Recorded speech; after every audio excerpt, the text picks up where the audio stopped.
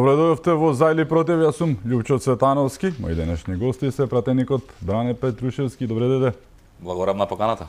Ламбе Арнаудов, колумнист, Добре, пратеникот првиот парламентарен состав Унија на ветерани на ВМРО ДПМН, добре дојде. Добре најдов и ги поздравувам гледачите на Алфа телевизија. Бране, почнуваме со она најактивното денеска. Ковачевски повторно пред малку со истата песна. Не баре расипана плоча во стилот на Рамбо Амадеус едно те исто. Потенцира дека сте прифатиле уставни измени, вели. На средбата се разговараше дека ВМРО ДПМН да сака да влезе да биде дел од владата и СДСМ е подготвена да отстапи пет министерски места, дуј експресно го прифати барањето на Мицкоски да не учествува во влада во која е ВМРО ДПМН. Тоа ли беше целта да влезете во власта? Еве, по кој знае кој па денови, да но тоа е приказката. Најпрви морам да истакнам дека а, ми е жал што политичката сцена во Република Македонија Ковачевски заедно со Груби ја претворија на ниво на српска селска а, задруга она реалното шоу што го имаат. Никакви а, ставови не се искажуваат, никакви интелигентни правци не се зазимаат во политиката, туку едноставно се зема едно ливче со две реченици и се повторува како расипана лента цело време. Доколку? Било така. И доколку? Ова што го говори Ковачевски е вистина, тој уште вчера во собранието ќе достави предлог за измена на уставот, доколку ова е вистина, уставот ќе се отвори и ќе почнеше постапката за жал како и се до сега што произлегува од СДСМ, од Кујната Нивна, од Ковачевски, вклучително и од Груби, е апсолутна невистина и лага. Едно е да разговараш, и тоа е нормално во политиката, но сосема друго е да се сложиш и да има некаква завршница тоа во форма на заклучоци. После лидерската средба, и Ковачевски и председателот Мицко се излегува со пресконференција на кои што си ги кажа своите ставови и буквално кажаа и двајцата дека договор нема и дека не е постигнат никакво прифаќање на никакви позиции и ставови. И тоа е а, почетната точка од која што можеме натаму да разговараме. Затоа што ваквото, мора да кажам, дегутантно однесување на власта во политичката сцена во Република Македонија се повеќе ги одвраќа граѓаните и во вербата дека политиката може да промени нешто во Република Македонија.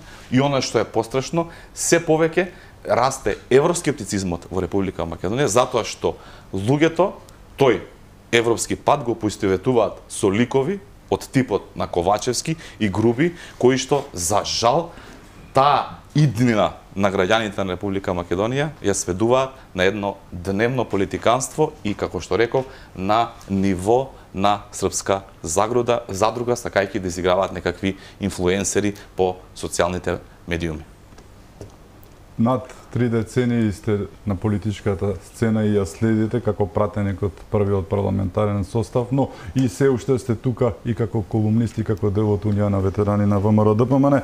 Сте изнагледале многу работи низ овие три децении. Дали е ова нешто што е препознатливо за така наречената СДС или пак можеби во нешто конечно и таче да брилира и да биде најдобар. Оваа ситуација со буквално кажано лаги, лаги, лаги, лаги и потенцирање на лагата, повторувањето е мајка на знењето, но и нели. Не, од кај димјата кои да. произлегуваат само лаги и никогаш нема да престанат. Тие и така функционираат. Народот веќе ги препозна, све што до сега кажа и излаже и сега веќе е конечно разбудување на македонскиот народ И тоа ќе заврши како што ќе заврши многу скоро. Тие ќе испакуваат коферите, а тие што не ќе ги спакуваат ќе си одат сами. Меѓутоа, јас ако ми дозволите, господине Липчо, би направил една мала дигресија која всушност не е ни дигресија, се однесува на се тоа. Јас имам една пријатна задача да изразам една огромна благодарност и почит кон пратеничката група на ВМРО ДПМН и коалицијата што е предводи ВМРО ДПМН, за нивното крајно искрено однесување, почитување, издржливост. И ако има беа соочени со невидени притисоци и закани, тие докажаа дека се украс на ВМРО да ДПМН, дека се скапоцен бисер на македонскиот народ, обстана на она што за која беа предодредени, односно да ги се идентитетските прашања и да не дозволат да бидат подценети или предадени од одредени категории кои таму сака да се наметнат. И мислам дека докажаа дека се направени од сорс неаргесувачки материјал луѓе кои се полни со родолюбие, со патриотизам и направија нешто што македонскиот народ на вистина од ними го очекуваше и за тоа заслужуваат голема благодарност. Тука не смееме да го одминеме и конструкторот, лидерот, ктиторот на новото ВМРО ДПМН, господин Христијан Мицковски, кој направи совршена интеграција на старото ВМРО, историско, со изворните вредности и ги спои заедно со ова ново ВМРО ДПМН и тоа сега историски и направи нешто што луѓето не го очекува, како со, и тој сам кажува, значи гради вредности, идеал и кауза, а јас би додал и дека тука е и традицијата.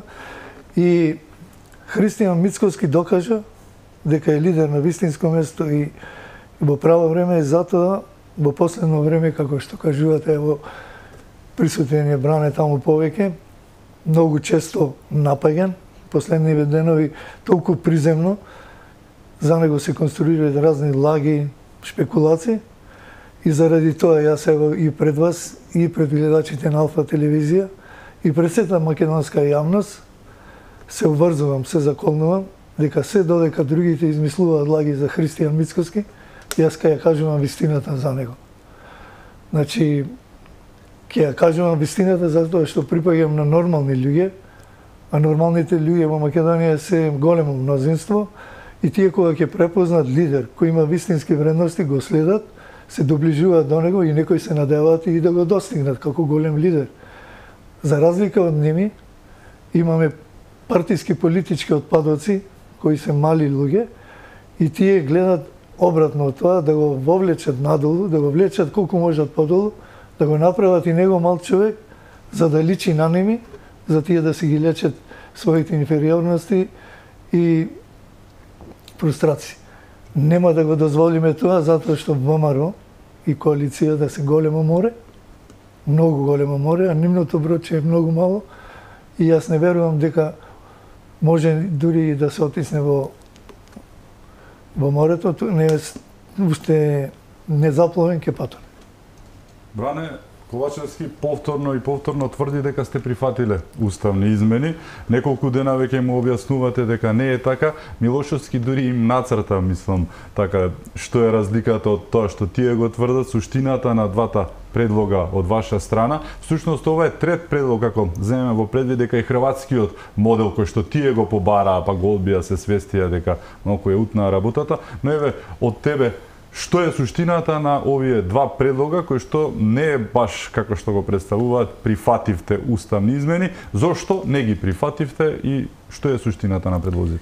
Ке да дозволите најпрв да се заблагодарам на господинот за овие прекрасни зборови, посебно што доаѓа од човек како што е Ламбе, кој што 30 години работи на каузата на ВМРО и е втемелен во самата партија на ВМРО да помени и за нас тоа како пратеничка група ќе се земам за право да кажам дека е само уште еден потрик, подстрек да продолжиме правецот кој што го заземавме и да обстоиме на она што сме го ветиле и пред граѓаните и нормално пред партиските а, тела и структури на партијата. Што се однесува до предлозите, затоа се и формулираат како предлози, а не како а, нели решение затоа што не се прифатени. Ние чекаме еве уште неколку дена Ковачевски да се изјасни кој од овие два наши предлози кои што на лидерската страна на председателот Мицкоски беа дадени, ќе го прифати или ќе ги одбие и двата. Затоа што доколку ги одбие и двата предлози кои што првенствено се темелат на неколку столбови, а тоа се забрзана евроинтеграција, затоа што Ковачевски, СДСМ и Артан Груби со ваквите однародени политики, со ваквите коленичења пред преговарачите го доведува процесот на евроинтеграција на Република Македонија пред блокада, затоа што сите сме свесни и тоа во изминатиот период го докажавме дека со ваква преговарачка рамка и со вакви услови кои што се прифатени од страна на владата, Бугарија ќе не блокира на секој можен чекор. Дури имаш изјави од во бугарски телевизии, од нивни политичари дека има 30 и не знам колку пати можност за блокада на Република дека Македонија. Дека ова е најлесното уставните измени, а потоа она што следува да. Апсолутно. Затоа нашиот предлог е да се откочи европскиот пат и второ да се заштитат македонските национални интереси. Токму одбивањето на СДСМ да се изјасни кој предлог го прифаќа значи неколку работи за нас. Прво, дека без разлика на овие а, инфлуенсерски изјави на Груби и на Ковачевски, очигледно е дека СДСМ не може, не смее, превише е приврзано со некакви можеби коруптивни сделки за да се откаже од ДУИ и го работи ова во интересот на ДУИ, не сака ДУИ да замине во опозиција. И втората работа е а дека може би предпоставка дека подготвуваат некое ново тивко предавство на македонските национални интереси и свесно целото ова целата оваа конструкција ја прават особено што ќе се сложам со господинот Ламбе дека Мицкоски како конструктор на оваа политика на ВМРО да ДПМН која што се покажа особено во делот на а, овие притисоци кои што доаѓаат непопуслива. Веќе една година како е прифатен францускиот предлог и ВМРО да ДПМН заедно со а, Мицкоски заедно со пратениците во еден ниту еден милиметар немаат одстапено од она што но, а, цело време го кажуваат и можеби свесно го насочуваат ударот најмногу да оди кон председателот Мицкоски за да се обидат по кој знае кој пат да направат некакво разединување во гласачкото тело на ВМРО да ДПМН како би можеле да постигнат неколку работи. Прво, некое ново предавство на националните интереси, не мора да значи во контекст на бугарскиот проблем, може би да значи во контекст на некои а, домашни а, ситуации кои што се во државата. А, второ, да обезбеди на ДУИ комотна позиција затоа што секој е свесен дека наследните избори, кога и да се случат, ВМРО ДПМН да победува убедливо. И СДСМ веќе не е во играта да се надпреварува кој ќе биде победник на тие избори, туку СДСМ да одигра за ДУИ. Односно, ВМРО ДПМН да е да му се намали победата, да не освои 61 пратеник, надевајќи се така дека со уцени ДУИ ќе ги заштити СДСМ. И затоа се ваквите лаги и брутални конструкции во јавноста, само за да се обидат, а знам дека нема да успеат затоа што на лагата кратки се нозете еве неколку дена помина, ќе поминат уште неколку дена, ќе се види дека апсолутно врска нема тоа што го збори. Ковачевски туку само одработува за ДУИ, интересите на ДУИ, СДС за своите лични интереси, може би надевајќи се дека ќе се амнестира со некаква корупција, што и Мицкоски повтори дека не доаѓа во предвид, и под предпоставка некое ново национално предоство, кое што ќе се случи во вакво а, време, надавајќи се дека нели во мутно нај најлесно се лови. Така што она што јас можам да го кажам и да го повторам и после една година, а тоа е дека ставот на ВМРО ДПМН да е јасен, непромелив и концизен. Уставни измени под бугарски диктат и во овие околности нема да подржи ниту еден пратеник од ВМРО ДПМН и коалиција. Тоа сме го кажале милион пати и ги го повтараме уште милион пати ако треба како одговорни политичари, пред се тука мислам и на председателот Мицковски, кој што кога увиде дека откако укажавме јасно и гласно дека овој француски предлог не приф, е неприфатлив за нас и да не го прифаќа владата. И тоа јасно гласно го кажувавме и пред странските а, дипломати дека ваков предлог за нас е неприфатлив затоа што ги нарушува македонските национални интереси. Бевме игнорирани. Се прифати тој предлог, се направи проблем во кој што ние како ВМРО ДПМН апсолутно не учествувавме пак покажавме конструктивност не заради владата, туку заради граѓаните кои што заслужуваат да живеат во една европска, модерна и развиена држава, понудивме повторно предлог како да се надмине оваа блокада која што не очекува во европскиот интеграцијски процес. Повторно, најпрвин, предпоставам не им беше јасно што бараат, го спомна хрватскиот медел, прифативме, повторно бевме одбиени, нудевме рака за соработка, нудевме рака за преговарање и тогаш бевме одбиени. Ова сега е последната рака која што ВМРО ДПМН ја нуди за да се откочи европскиот процес и за да им се покаже на овие властодржци дека може и во вакви околности да се издействува поволна ситуација за Република Македонија и да се заштитат македонските национални интереси. И тоа го правиме со овие два предлози, односно едниот контрапредлог на предлогот на Ковачевски и вториот предлог оној на Мицковски. Со првиот предлог велиме добро, ќе гласаме уставни измени под услов тие да важат со денот на влегување на Македонија во Европската Унија. Затоа што кога тоа ќе дојде, ние секако ќе треба да го отвараме уставот и еве една можност за да бидеме сигурни дека е, нема да биде процесот обременет со идентитетски прашања. Затоа што имаме две можности, доколку на Бугарија и е важно да бидат бугарите во нашиот устав, тогаш таа нема да ја развлекува нашата интеграција во Европската Унија и нема да не кочи за безсмислени идентитетски прашања, туку ќе сака како соседна држава во контекст на добрососедството ние да станеме што поскоро членка на Европската унија и тогаш ете тие уставни измени да ваѓаш, а до тогаш да а, чекаме како ќе се однесува Бугарија. И а, втората работа, она што ние го сметаме како најголем проблем во Република Македонија изминативе 22 години, а тоа е ДУИ да не биде дел од таа преодна влада која што ете би ги гласала тие уставни измени. Тоа е првиот предлог за кој што ние велиме и подаваме рак. Доколку на Бугарија не е битно бугарите да бидат во уставот, тогаш да го смениме тој дел затоа што делот за измена на уставот лажно кажуваат од владата, лажно кажува Ковачевски дека стои во преговорачката рамка. Тој не стои во преговорачката рамка, тој стои во заклучоците на Советот на Европа.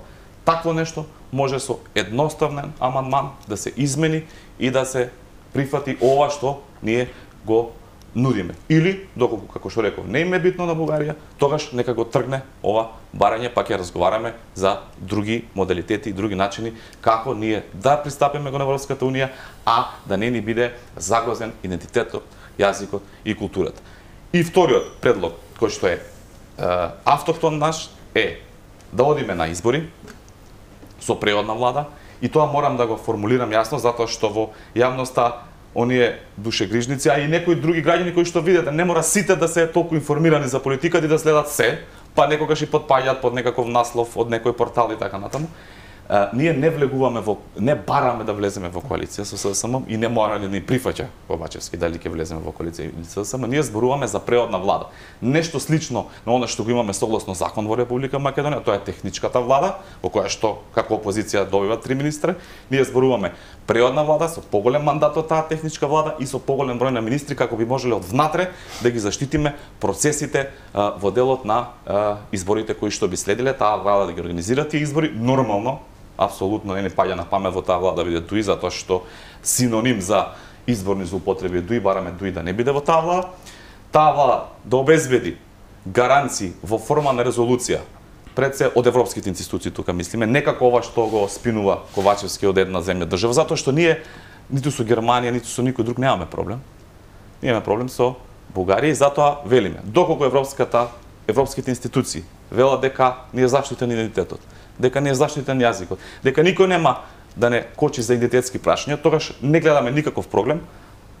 Советот на Европа, каде што седат 27-те премиери на сите европски држави членки на Европската унија, да донесе една таква резолуција, кога која што ни се признава нашиот јазик, културен идентитет, со таква резолуција ќе имаме оружје, алатка во раката кога Бугарија би се обидела за некакви идентитетски прашања да ни става вето, дека, нели, извинете, но вие го кршите, кршите резолуцијата на Советот за Европа. Тука зборуваме за пакет економски, кој што подразбира финансиски грант за граѓаните за да ги решиме суштинските проблеми на граѓаните во оваа држава, затоа што извинете, но со без канализација, без асфалтирани патишта и без водовод во 21 век не се оди во Европска унија. Изборуваме за грант за решавање на тие суштински прашања и кредитна линија мека, мала, со мала каматна стапка за стопанството како би можело да се прилагоди кон тој нов европски пазар и кон нови тие европски стандарди. Сето ова што го говориме се базира првенствено врз основа на заштита на македонските национални интереси, се базира врз основа на Стратешката определба на ВМРО да ДПМН, тука е господинот Ландбе да потврди, од осформирањето на партијата до ден денеска за членство во Европската Унија и овозможување на граѓаните на поквалитетен живот. Ако ова е подадена рака, која што треба да ја опре работата и сето она закашкано со прифаќањето на францускиот предлог. Чуму не го прифаќаат кога толку им е битен, барем декларативно тој пат кон Европската Унија, што би рекол Маричич меѓу два ручека, да се качиме последна шанса на возот кој што оди кон Брисел и постојано со тие возовите и слично. Зошто тогаш не ја прифаќаат оваа подадена рака? Јас имам малку поинако мислење. Сметам дека лидерот на нашата партија, господин Христијан Мицковски, многу правилно е процени ситуацијата. Тој увиде дека патот, колку и да е далек до членство во Европската Унија, не е само патот важен. Важни се препреките што ќе не сретне на тој пат. Тој може да биде многу долг каде да го изодиме со 250 км на сат и не може. Меѓутоа може да е и 100 метри и нема да го помине. Е тој пат е сега од 100 метра кој не можеме да помине. Јас тврдам дека ова што Бугарија го бара на бугарските граѓани со само чувство дека се бугари во македонскиот устав е само нивни блеф. Тие имаат далеку поголеми барања од Република Македонија. Многу реално, многу видливо. Граѓаните кои малу се занимаваат со оваа работа, не, не мора да се ни политичари, очигледно знаат што се случува. Тоа прв го воочи господин Христијан Мицковски и затоа со еден ваков гениален шаковски потек ги разоткри, ги разобличи и овие дома што се предавници кои му слугуваат на Бугарија и на Европската Унија.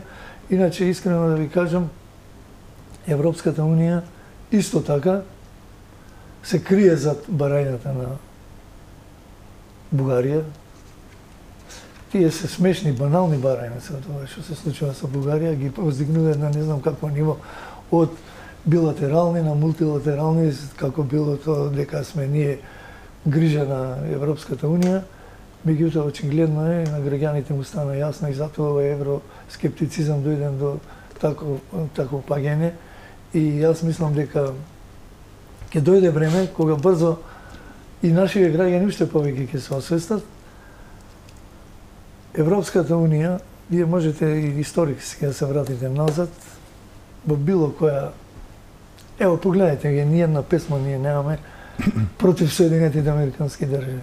Европската Унија и како дама, што ви кажа, стара, прочитана е од Македонија, наречена е, не знам, таму со поверни имена во песни, и нивната политика кон Македонија никогаш нема да се смени, додека македонскиот народ не се ја заврши работата сам. Секогаш најдобро можеш да ја заврши работата ако ја завршиш сам работа. Нас не треба да не грижи од другата, да се загрижуваме кој од другата страна стои карши нас. Ние треба да ја завршиме работата така што ништо не е завршено додека не се заврши како треба. А за нас ништо нема да се заврши како треба додека имаме ова влада, додека ги имаме овие послушници, додека го имаме дуи кои Јас искрено да ви кажам, многу сум изненаден, веројатно понесени од тоа што многу вазално се однесува сада сам кон ними. Е, никогаш не биле оку непријателски расположени кон македонскиот народ. Ние сега имаме од една страна ево е, како да ги насочам или да ги повикам нека направат нешто нешто тие за Македонија, како што прават кога излезе, излегува надвор за Албанија и за Косово. Зашто Македонија му е во втор план? Нивните помалу сега да кажам, можда тежок збор, од мазнички односи кон македонскиот народ, ево ги со овие собраќајници што треба да ги градат, се токму тоа. Јас мислам дека нешто што се градело порано на другата страна тие сметат дека ево сега треба меѓутоа тоа не е така, не се гради заедничка држава. И затоа од кога сум јас во ВМРО и ВМРО да ДПМН, сметам дека се додека ВМРО-ците средиштето на нашата борба и центарот на светот на овој микрокосмос не се стави на позиција на Македонија, ние од никого нема да очекуваме помош и нема да ја добиеме. Агресивноста и ароганцијата стана дел од однесувањето на оваа влада, иако 6 години веќе го гледаме тоа. Сега е, имаме едно крешчендо, токму денеска се расправаше Ковачевски со еден новинар кој едноставно го праша она есенцијалното кој од двата предлога кои што ги нудите е прифатлив за него и за неговата партија, па тој го праша од кој медиум е тотално апсолутно недозволиво за нешто што се вика нели премиер институција, медиуми пред него, па од кој медиум е, па дали бил на пресконференции, сите не баре наставничката нели настапи, но ароганцијата велате последното за сомниште на неспособните. Имаме еден лик со тапија за трајна неспособност не се, но дали вака во превод крајот мириса се сеќаваме на падовите и на некои други влади, крајот секогаш е обележан со паника, ароганција и агресивност. Се повеќе и повеќе така изгледа или имам лоша перцепција? Апсолутно сте во право, па и историски ако гледаме секој систем паѓал токму после ароганцијата и тоа е последната последната фаза во пропаѓање на еден так. систем и тоа очигледно се случува и сега со Ковачевски затоа што тој преку односот со новинарот го покажува и односот према јавноста и према народот. Така. Значи, нив апсолутно не им е битно а, мислењето на народот. Тука ќе се надополнам и со, а, со Ламбен. Наместо, како премиер, центарот на светот да му биде Македонија, македонскиот народ и мислењето на граѓаните за, а, во Република Македонија, тој апсолутно избра политика која што значи коленичење пред странски центри на моќ, коленичење пред ДУИ, надевајќи се дека низ тие форми на а, действување ќе се обезбеди комодитет и понатаму. Затоа што еве ќе се присети тука сега чест ми е што сум во иста емисија со а, господинот Ламбе и да а, нешто што он е повеќе сведок од она што сум јас сепак сум помлад. СДСМ има една нишка во своето а, действување, тоа е секогаш биле нечии вазали. Во 90-тите години тие коленичија пред Белград и ја спасува Југославија и апсолутно врска нема со европски интеграции и НАТО. Потоа ги сменија према а, нели сега Брисел, очигледно сега се толку немощни што падна вазалството да им биде спрема ДУИ. Очигледно дека СДСМ има потреба од вазал, од тутор, од ментор кој што ќе ги насочува како да функционира. Од друга страна имаме политичка партија која што овие 30 години со сите мани, недостатоци и грешки Меѓутоа, правецот бил заштита на македонските национални интереси. И тоа што е втемелено во действувањето на ВМРО ДПМН, ниту еден надпис, ниту еден портал, ниту еден а, политичар од ССМ не може да го смени. Затоа стоиме овдека гордо и цврсто и велиме дека пратеничката група на ВМРО ДПМН, структурите на ВМРО ДПМН, органите на ВМРО ДПМН, председателот на партијата Мицковски, ниту милиметар пред никого дали се тоа однесува странски центри на моќ, дали се однесува пред владата или према другите политички партии, пред никого, нема да отстапи ниту милиметар со кој би се загрозиле стратешките националните интереси на Република на Македонија, на македонскиот народ и нормално на граѓаните кои што живеат во Република Македонија. И токму во тој контекст, и токму од тие поводи, Мицковски излезе со, како што рече Ламбе, брилијантен предлог и дури би рекол дека успеа во оваа тмурна политичка а, сцена во Република Македонија, каде што само медиокритети со а, напишани ливчиња по цел ден како расипана лента повторуваат тези да внесе умешност, да внесе мудрост, да внесе интелигенција во политичката сцена. Може би некои граѓани, како што реков, не го сватија веднаш потекот, може би некои граѓани, затоа што мора да ги разбереме, не сите граѓани по цел ден слушаат вести и се занимаваат за политика, затоа сме ние политички. Меѓутоа, пропагандната да машинерија се обиде да. да го спинува ова и за среќа, затоа што се уште не, тоа е факт. Така е, меѓутоа интензитетот паѓа затоа што да. од другата страна нема реакција, затоа што граѓаните од ден на ден увидуваат дека е, тоа било пропаганда и увидаа дека токму а, таа пропаганда И ударот против ВМРО ДПМН и Мицковски е дел од планот за да се наштети на македонските национални интереси и за да се протурка на некаков начин а, овој штетен предлог по нашите интереси. Тој им беше целта дека на ето на девиза разледили, па влада. И тогаш кога би успеале. Тие се обидуваат константно. ВМРО да помане овие 6-7 години под константен притисок и удари на власта, првенствено за разединување и тоа тие удари доаѓаат од два центри, условно кажано. Едните се од лево, тука се СДСМ и нивната коалиција, и другите удари доаѓаат од десно, тука се помалите политички партии, вклучително и левица, кои што а, како а, а, како лешинари чекаат условно кажано некаква грешка на ВМРО ДПМН за да ги повикаат членовите пазете на ВМРО ДПМН да гласат за таа политичка партија. Суштината е дека тие политички партии кои што хибернира и се јавуваат само при одредена ситуација работат најголем дел од нив директно, дел од нив индиректно за интересите на политичката партија ДУИ. Затоа што ВМРО ДПМН со 61 пратеник е завршена приказна повеќе за македонскиот идентитет и јазик да биде о, нападнат од било кој. И не може никој да оценува таа влада и ќе има силна енергија за сите реформски политики кои што значат подобрување на секојдневието кое што го живееме.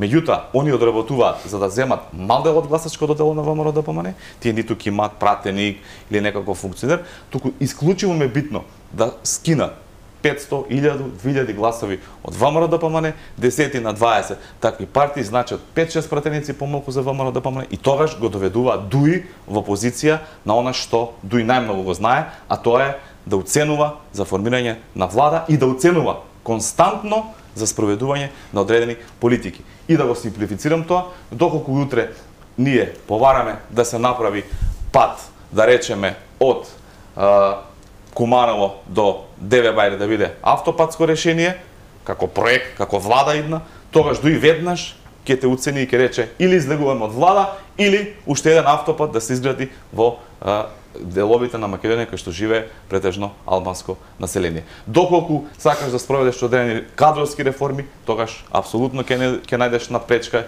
и ќе треба да работуваш ликови како што гледаме да деновиве ги а, промовира дуи како а, функционери во извршната власт. Тоа ќе биде сериозна кочница за промена на секојдневието во кое што живееме. Дали се однесува на образование, па да видиме држава каква што нема во светот да децата добијат учебници на три дена пред распуштање, истите да бидат со катастрофални грешки, чекајки нели некаква ревизија на историјата. Дали е тоа здравството да гледаме како угледни доктори кои што покажале, докажале со своето делување се разрешуваат само заради таму внатрепартиски а, договори на нивно место да се поставуваат некакви а, медиокритети во делот на а, здравството. Дали ќе зборуваме тука за културата која што ја нема, дали ќе зборуваме за туризмот како што впрочем во Охрид 6 години не го градеа милиметар автопатот, за да сега кога охриѓани чекаат таа туристичка сезона, за да колку толку а, си го зголемат своето финансиско салдо, владата да им го блокира влезот на Охрид и да им се ствара а, гужви и привидоци. Сега градоначалникот на Охрид, почитуваниот Пецаков, апелира, замолува, нуди решение како да помине сезоната, да е, туристичката сезона заврши најдобро и најповолно за граѓаните на Охрид, тие го нарекуваат лицемер и велат дека ќе продолжат со блокадата на влезот на Охрид. Е за таква влада зборуваме и за таква промена на секојдневието кој што го живееме. Дали таа промена ќе иде брзо или ќе иде бавно и оценувачко, зависи од тоа дали ВМРО ДПМН ќе има 61 пратеник или ќе нема. И затоа ќе искористам ја и оваа емисија. Предходно често идам на на терен, често сум со граѓаните, имаме средби и ова нонстоп го зборам.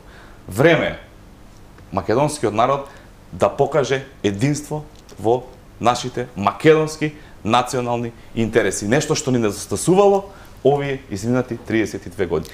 Моментално, поголем национален интерес нема од тоа да ВМРО ДПМН на следните избори, кога да се случат, освои 61 пратеник и за да може Република Македонија да се а, промени од ова што е денес, држава која што коленичи, односно влада која што коленичи, влада која што не испорачува и влада која што го уништува секојдневното живење на граѓаните во секоја една област, да премине во држава лидер во а, регионални рамки, држава која што ќе биде пример како се прават економски реформи, реформи во правосудство, образовни реформи и сето она што значи секојдневно живење на граѓаните.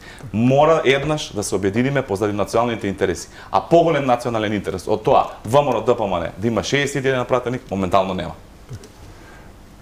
Не заборави Ковачевски оваа влада повторно да се закани со меѓународната заедница. Денеска немало да биде срекна меѓународната заедница доколку немало уставни измени кои што нема да ги има како што оди работава, но ова апелирање, ова коленичење, ова плачење да не речам по и околу меѓународната заедница, тој не е премиер на меѓународната заедница, не се што не е избран на избори, туку е престолонаследник на Заев, да не се лажеме, но сепак зошто не рече дека народот нема да биде среќен од тоа, народот кој што над 60% целосно, македонците над 80% речиси 90 се против тие бугарски уставни измени, пробугарски како и да се соодносат. Зошто не се повика на народот, постојано се повикува на меѓународната? Ние еднаш, еднаш кај јас едно гостување овдека, ви кажа дека имаме премиер на Грција, тоа е Зоран Заев. Така. Сега премиер на Бугарија е Ковачевски. Следниот на Албанија, значи ако биде од Не, следниот, следниот ќе биде на Македонија. Тоа бидите да. убедени и тоа на Македонија цврста, силна, просперитетна, на кичма, многу скоро ќе се случи. Меѓутоа сега зборувам за Ковачевски. Срамно е ова што го прави према македонскиот народ. Значи, едно е ти да имаш чувство, а друго е факти и бројки. Ако народот ти побара тоа што го бара, ти како премиер мораш да го испочитуваш тоа. Не можеш ти сега цело време да коленичиш, викате вие, пред е, меѓународната заедница, а меѓународната заедница е, става тој на пиедестел, ко, ко знае колку е загрижена нас. Јас ви тврдам дека воопшто не е загрижена. Таа се, си гледат седој, гледат овдека со какви политички дилетанти и деликвенти имат работа и најверојатно, најверојатно очекувам многу брзо и тие да бидат принудно освестени.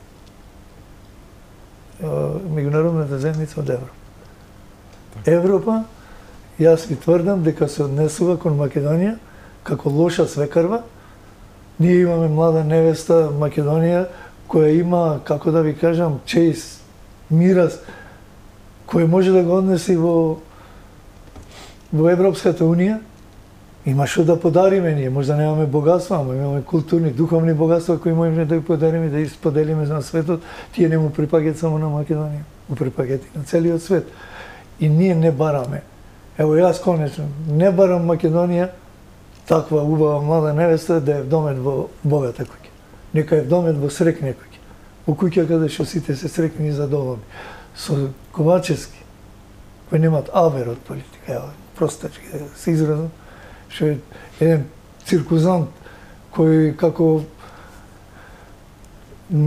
се шета низ Македонија, а луѓето исто го препознаваат, толку се убедени во неговата способност, дури не ја не дискутираат. И сега тој не може да свати на која тереđe во своето однесување, а од друга страна се прави голем душегрижник за состојбите во Македонија. Со него Македонија јас ви тврдам. Ќе се унисат, ќе пропадне, ќе биде а, до последно нешто што значи државност изгубено и благодарение на ова пратеничка група и политиките на ВМРО да ДПМН предводени од Христијан Мицковски и другите структури, ние имаме среќа што Македонија и ден денеска живурка, живурка, јас ја кажам, не, не живее, но спречија да не можеме да ја препознаеме колку ќе беше разорена, да не знаеме дали е остаток од остатоци или остатоци од остаток. Благодарение на овие луѓе и на ВМРО ДПМ, нас не чека сега, ние дојдовме на Немаме подолу од каде, на донедолната скаѓа. Сега со ВМРО ДПМ не очекува раст, пораст, нешто што ќе е незапирливо, кој ќе безбедува еднакви стартни позиции за секој граѓанин во Република Македонија, било од која вера и националност да е. ВМРО да е најдемократска партија што некојаш действувала на политичкото ниво во Република Македонија и мислам дека граѓаните сега го препознаваат тоа. Замислите вие, се Христијан Мицковски е напаѓен од овие дилетанти што ги нареков јас и од падоци од политичките и партиските, да. се човекот 2000% му е пораснат рейтингот, го препознаваат сите граѓани. Партијата исто така постојано има пораст.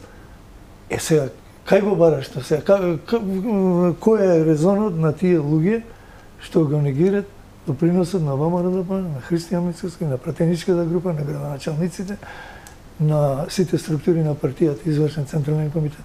Тоа се мудри одлуки, тоа се тоа се предвидувања кои македонскиот народ ги препознава и затоа дава доверба.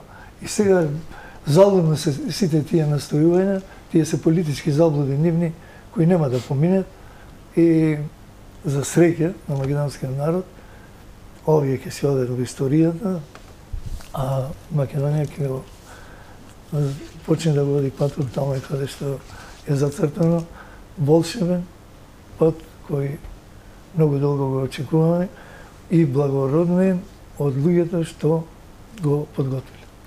Имаме уште многу теми за отворање. Ке зборуваме за изборите кои што се необходни за излез од оваа шестгодишна Голгота. Се договоривме, Ламбе ќе биде за, а против душманите на Македонија е Бране Петрушевски, Ламбе Арнаудов за Македонија. За или против се враќаме веднаш по рекламите. Останете со нас.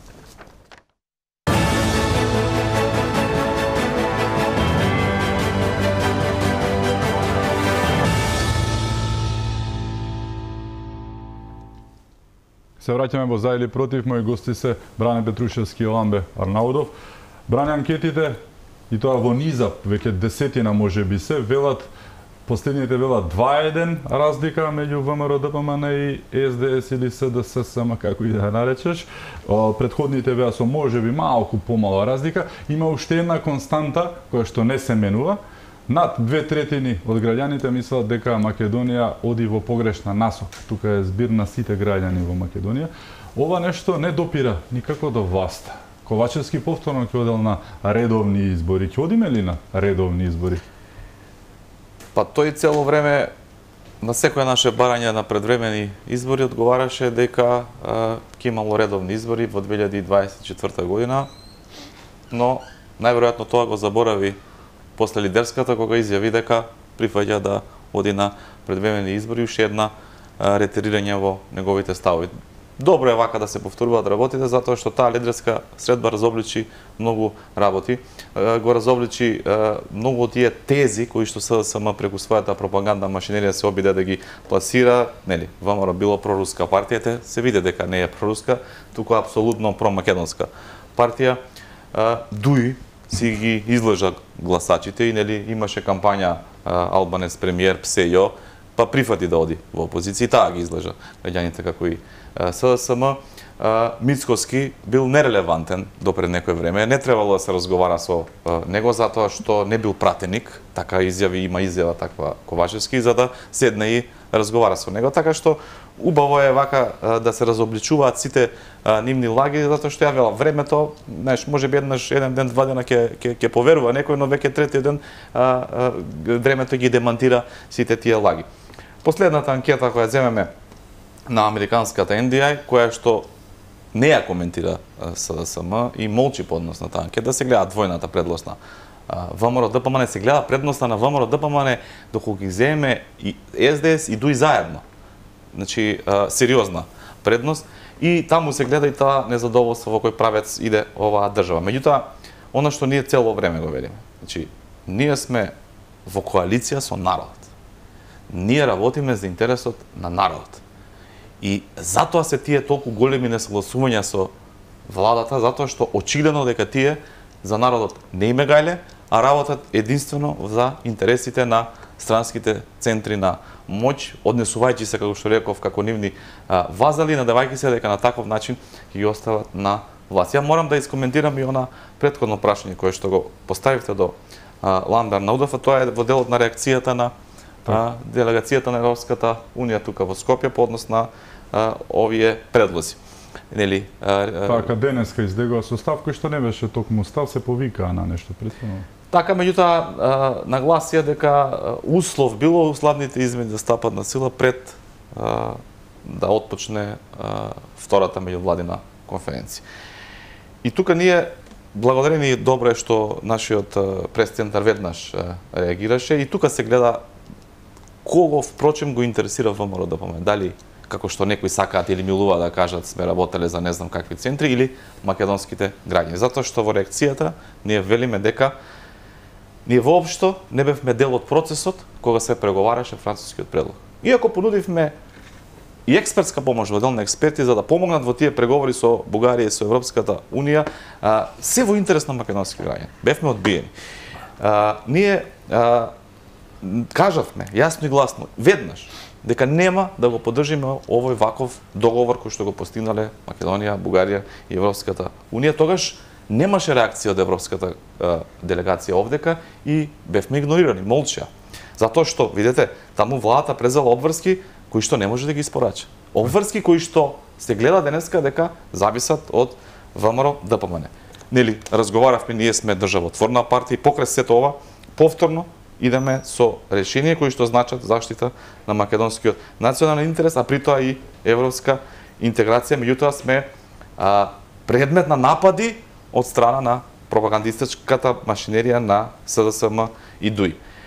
Оно што го порачавме и на делегацијата на Европската комисија овде е дека партнерството подразбира двонасочна улица и ние очекуваме да бидеме третирани еднакво и од страна на европскиот партнер. Зборувам како држава, затоа што нели партнерство во Европската унија значи да се почитуваме меѓусебно на едно еднакво ниво. Затоа што а, вакви уставни измени под бугарски диктат ги сметаме навредливи за македонските граѓани, ние апсолутно немаме намера да е, прифатиме. Оно што ние го понудивме, и тоа мора да истакна, дека е последна и конечна позиција на ВМРО ДПМН и на сите структури на ВМРО ДПМН, и на пратеничката група на ВМРО ДПМН, и председател од Бицковски, и од позиција од кои што ни милиметар нема отстапување, се уставни измени кои што ќе се ефектуираат после членството на Република Македонија во Европската Унија. И еве, доколку Европската Унија на вистина сака да ја види Република Македонија во Европската Унија, ова е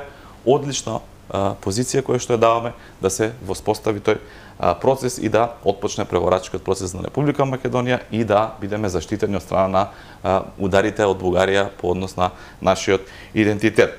И затоа бараме да се разгледа оваа позиција сериозно на ВМРО ДПМН. Меѓутоа, јас лично би поставил уште едно прашање до истата таа делегација, ако може да ни ја каже формулата како успеа СДС и ДУИ да ги разубедат и да ги спречат во нивната во нивното реагирање по однос на злоупотребата на европското знаменце во делот на коридорот 8 и коридорот 10 законските измени во делот на а, ова се нивни зборови транспарентноста и конкурентноста која што е нарушена а, по однос на избор на тој а, договор и а, кој што се костел со договорот за стабилизација и асоциација на Република Македонија со Европската унија. За волја на вистината има реакции, Меѓутоа, одеднаш престана тие реакции по однос на овие две клучни прекршувања на европските принципи кои што владеат секаде во Европската Унија. Да видиме каква е таа формула, па може би ние да се обидеме на ист таков начин да ги убедиме дека зборуваме за македонски национални интереси, зборуваме за волјата на преку 80% граѓани на Република Македонија кои што велат не на уставни измени во вакви околности и под бугарски диктат. Па може би тогаш со таа формула ќе ни го разберат, ќе ни разберат најдобро намерно оваа наша намера, ќе не земат сериозно и ќе прифатат а, една, една, еден предлог кој што ни ги гарантира нашите идентитетски права. Така. Ламбе, зошто власта бега од избори како ѓавол од темјан што вели народот, бидејќи нема нема доволно мнозинство, тоа е факт за да ги спроведат тие уставни измени заради кои што да не се лажеме од самиот почеток знаевме зошто е избран Ковачевски, зошто е ставен таму и зошто е онаков каков што е деновиве. И од кого беше истерично паничен. И од кого беше спречен да ја дава. Така, токму така, но еве зошто зошто се плашат од избори? Први еве спомна и Бране дека во вториот дел се согласија, ама доколку биле изгласани уставните измени, не се бега од есента да има предвремени, бега да бидат дури заедно со председателските, не туку да бидат само неколку месеца подоцна, што значи во превод десетина 20 милиони евра плюс, сето тоа за да остане на власт. Зошто ова е страф Фотелја чува приказката или? Е, Лјупчо вака сега. Прво, со Бране малку да се види дека сме за и против. Така. За Македонија против душманите на Македонија. Појде. Значи вака, формула што му е дали на Дуи на Сада, сама нас не ни треба. Ние имаме најдобра формула, кај нас е изградена, и таа е единствена спасоносна, мало фигуративно го кажа тоа бране. Ја кој, кој да сме кај изборите. Две работи ќе кажам, нели за изборите и за ова што не прават проруски или не знам какви центри кои делувале на нас, што нема брска. Значи, Јас сум македонец, произлегувам од македонскиот народ и му припаѓам на македонскиот народ и затоа го сакам многу македонскиот народ, како и вие сите потврдени патриоти, зашто не се сите патриоти, отворено се спорува. Е се на избор. Преска малку го зачна тоа прашање браме. Разлика една кога викат дека сме ние исти. Што што Добро, ние сме малку понемиени нив. Да. Значи ние тука се разликуваме најмногу. Ние досега, секогаш кога сме одели на избори, сме се ослонувале на нашиот народ. Сме одели кај народот, сме ветувале, сме исполнувале, не знам во кој процент, некојаш поголем. И затоа што народот нас не дал доверба, онај што ти дава, нема му се должни. Треба значи да не по амбасади, туку кај народот. Е, па тоа, за разлика од овие, тие постојано одат неш, и ја шпионирате, кој дошли својата татковина. Тоа е формулата може би на Бране, Јас бил што ја кажа така. Сум бил во меѓународните да институции представник и сум слушал брутални предноста кај што некој доше мене, мојата партија, мојата држава. Е тоа се тие, таа е на огромна разлика и сега тие кога ќе донесат, на власт не ми ги носат, тие, тие ги носат, тие се донесени. Ние сме автохтони, само никни сме овдека изникнуваме од нашиот клуб, а тие се насадени, нови и не знам, може би се хибридни и затоа не успева нова македонски клуб Јас македонскиот народ му честитам. Македонскиот народ до сега 21 пат нема дадено доверба на ВМРО ДПМН. 21 пат ние сме се одолжили, било на локални, парламентарни, председателски, на, на изгласани референдуми и за тоа сум многу благодарен. И следниот пат, сега, кога ќе добијаме овие избори, јас мислам дека се она што ќе го ветиме и ќе го испорачаме, затоа што верувам во во снагата на ВМРО ДПМН и лидерството на Христијан Мицкоски. Знам како ВМРО ДПМН од пропадната партија, не веќе не беше партија. Не дека е како да кажеме обнови. Ја пропадна не, не, намерно, добро не беше со интенција. Тој што заде нова политичка партија фактички. 20 души бевме по, кога мрзнахме таму по тие протести и одевме во ни струја ни вода во така наречената палата наша што е вика. Значи, тука да немаме дилема, ние кога ќе одиме на избори, и сега, зато бевме на терен, на ТП, се сеќавам ќе ви кажам еден пример.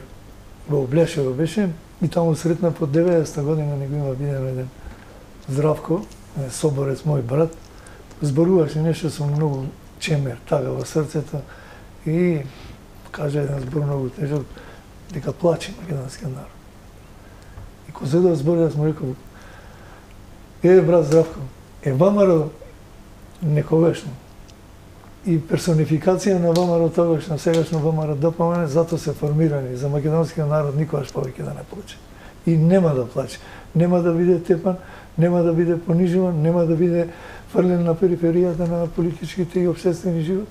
И убеден сум дека таа подршка што одбараме народот, ќе ја добијаме, ќе имаме мене ме смете за еден од поквалификованите за прогнози. Јас так. многу близу бев, со 2% прав грешив за локалните избори, се тврдам дека ќе имаме 60 пратеници. Так. Се второ, 63 пратеници.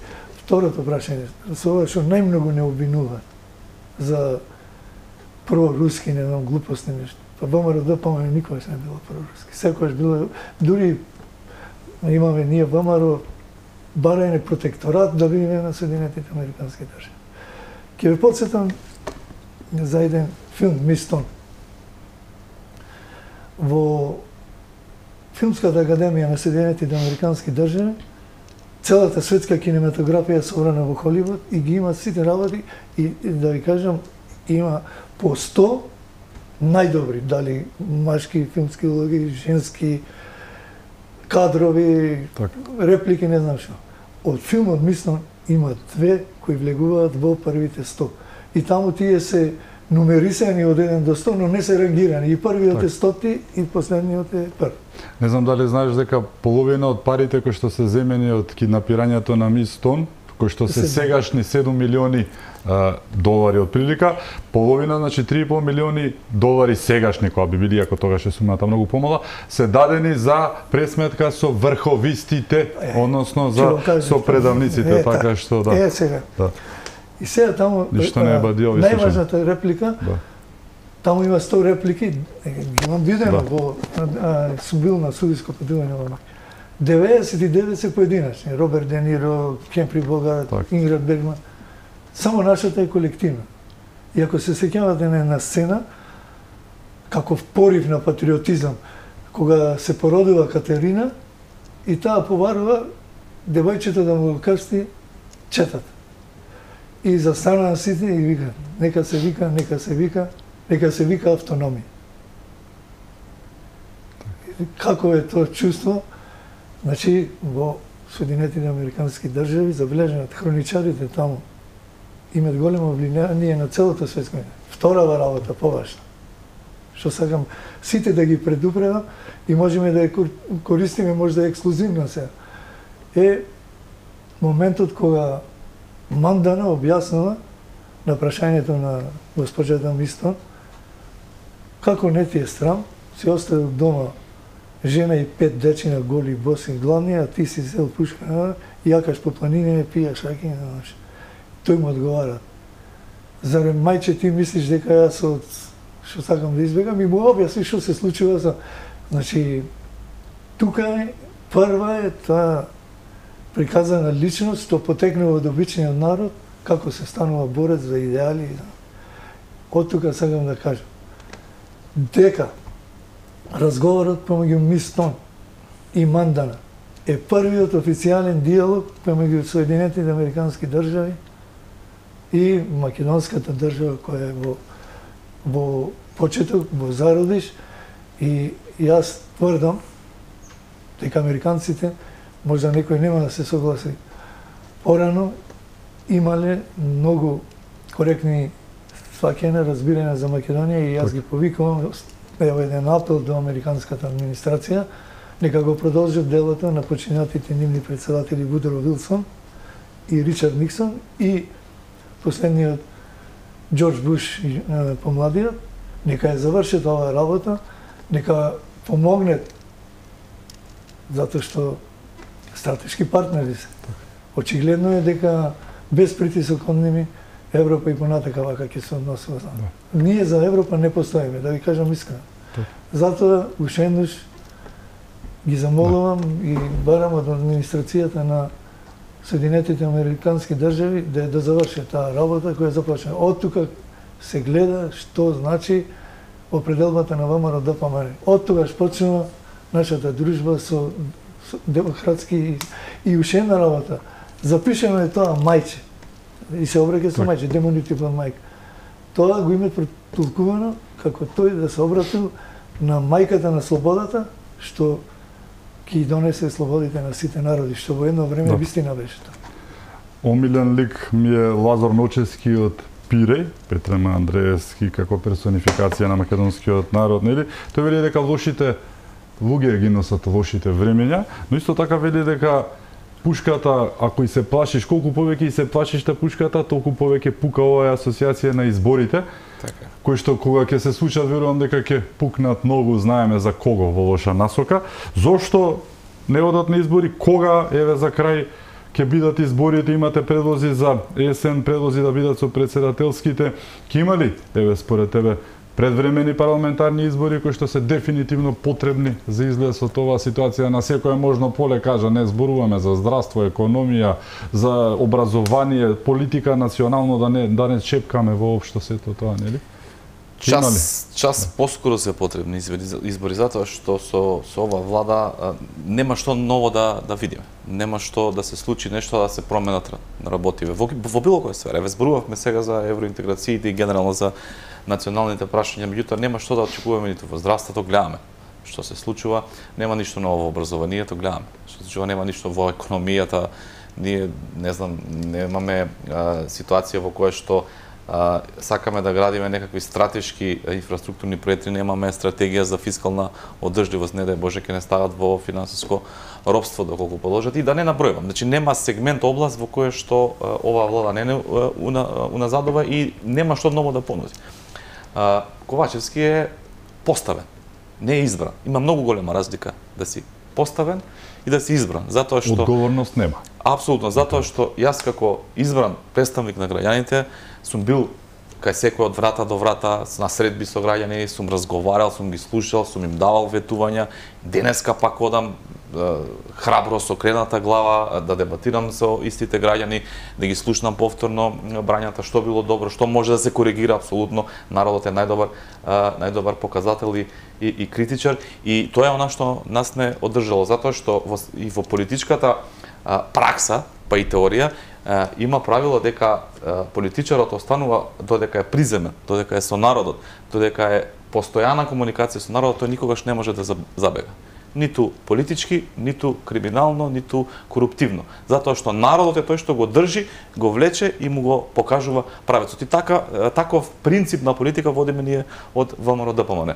Од друга страна, Ковачевски е насаден, прифатил да испорача нешто што прифатил да испорача, најверојатно сега не може да го испорача, уплашен е, дава изјави арогантни кои што се само знак на немоќ и мислам дека што повеќе трае оваа влада, толку повеќе ќе трае измачувањето и на јавноста и да македонскиот народ да го гледа сето ова што се случува да бидеме реални, ние немаме 61 пратеник, а тоа е единствениот начин како би можело да се предизвикаат предвремени парламентарни избори, затоа апелираме и ги бараме на последната лидерска среда, понудивме, односно председателот Мицковски понуди три термина, доколку се спремни, доколку мислат дека се на вистинскиот пат, како што нели, тие велат, на правиот пат, доколку сметаат дека имаат поддршката од народот, мислам дека, гледајќи дека а, уставните измени нема да им поминат на начин на кој што тие на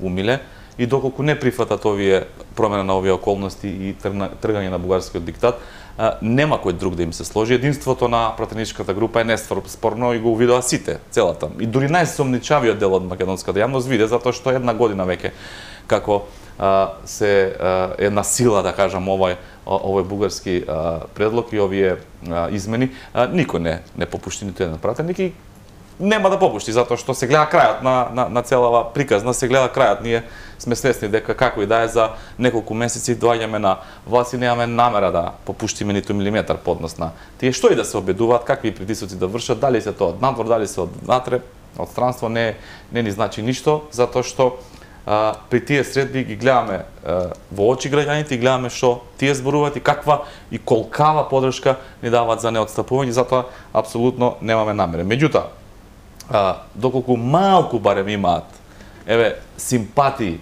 кон македонскиот народ, затоа што јас не, не можам да препознам ниту од страна, некоја странска држава да покажува толку а, омраза кон собствениот народ како што тоа го прави СДСМ. Да еве малку симпатии да покажат кон својот собствен македонски народ, да се охрабрат и да одиме на парламентарни предвремени избори, да ги соочиме концептите, да ги соочиме програмите, визиите, да ги понудиме решенијата и народот кој што е суверенот на оваа држава и кој што еве јавно преку оваа мисија сакам да го убедам и оној дел на јавноста кој што мисли дека некакви странски центри одлучуваат, дека некакви амбасади одлучуваат. Не, апсолутно одлучува народот.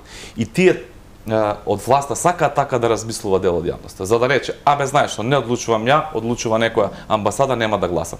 Токму тоа е она што го сака СДС и токму тоа иде во интерес на а, ова политичка гарнитура. Треба, како што реков, и ќе повторам, македонскиот народ да покаже чувство за македонско национално единство, на следните избори да се обедини позади тоа национално единство и да овозможи ВМРО да ДПМН да освои најмалку 61 пратени колку што е а, потребно за формирање на влада и да покажеме дека а, ние македонците да сме миролюбив народ, ние македонците сме да сакаме да имаме добрососедски односи со сите наши соседи, сакаме да имаме пријателски односи со сите од меѓународната заедница, меѓутоа имаме граница, имаме црвена линија кога некој од надвор сака да ни го загрази нашиот национален идентитет.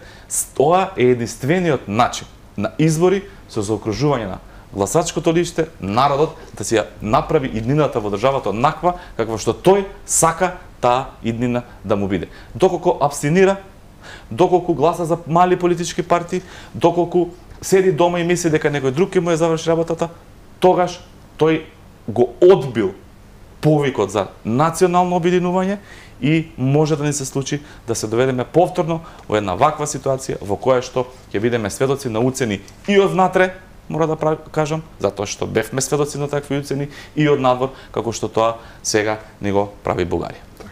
Ви благодарам што бевте мои гости. Благодарам на поканата. Ми беше чест. И нас исто. Благодарам и вам што бевте со нас, да сте ни живи и здрави и секако чувајте се многу.